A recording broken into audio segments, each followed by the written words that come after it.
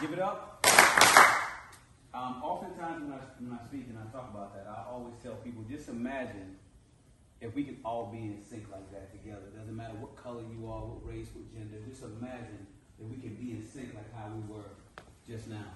So my name is Terry Spain. I'm originally from uh, South Carolina, Conway, South Carolina, which is the home of Coastal Carolina University for those. So I'm like literally like five minutes from Myrtle Beach. Um, but I'm a military brat, so I actually grew up in Italy. I grew up in Naples, Italy, where my dad made me and my sisters learn how to speak Italian. And I still speak Italian to this day. And as Conrado can attest to, I always go back every year to talk to uh, my classmates, some of those who still live there, and things of that nature. But I'm also a member of Phi Beta Sigma Incorporated with some of my uh, great brothers here. And I'm very, very honored to be here to talk to you young men because purpose is an incredible alarm clock. And so what I mean by that is when you have a purpose, because you all here have a purpose, because I hear some of you say you want to get your degree, that's your purpose.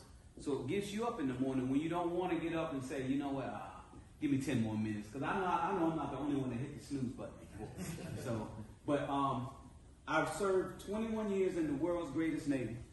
Um, the absolute best decision I ever made with my life was join the Navy.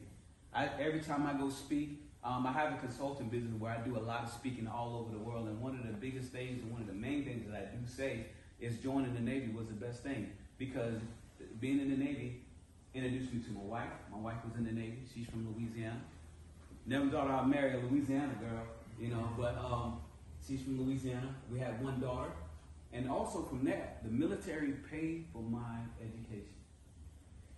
Um, so I tell people all the time, in particular the people that I mentor, because I get mentored as well. And I'm going to talk about a challenge, but um, I had a mentor that said, hey, you know you can go to school for free. Why are you not in school? So he pretty much dragged me down. I, I enrolled in school because I'm thinking I'm in the military. I'm good. God don't need anything. But that made me a deadly person when you are educated and you, you serve this country honorably. So I got my bachelor's degree. And one of the things that I want to mention to you all now is the military, even though I'm retired, is paying for me to get my master's. And that's what I'm doing right now. So I, I'm, I'm 44 years old, and I visited 44 countries. Wow. So when you're sitting there thinking and you and you you're thinking, saying, "Man, I, I can't do this or I can't do that." Um, you have brothers here who can attest to not giving up. Because there's been times when you want to give up, and there's been times when you say, "You know what? It's over. I'm done." But don't do that. That's the easy.